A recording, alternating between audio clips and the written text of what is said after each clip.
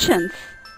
When an object is divided into same equal parts and only some or all of them are taken, such numbers are called fractions. Look at the picture. 1 whole is equal to half plus half.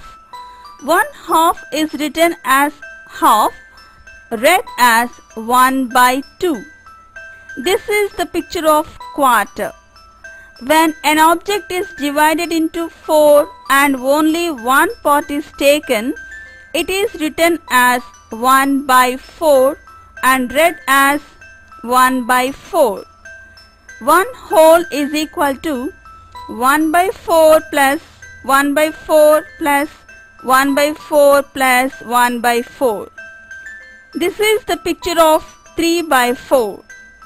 When an object is divided into 4 and 3 parts of it is taken, it is written as 3 by 4 and read as 3 by 4.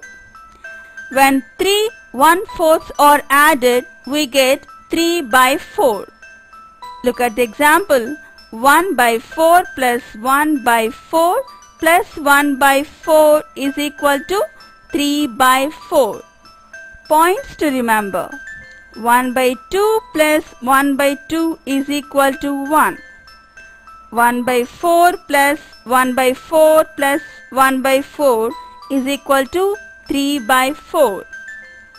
1 by 4 plus 1 by 4 plus 1 by 4 plus 1 by 4 is equal to 1.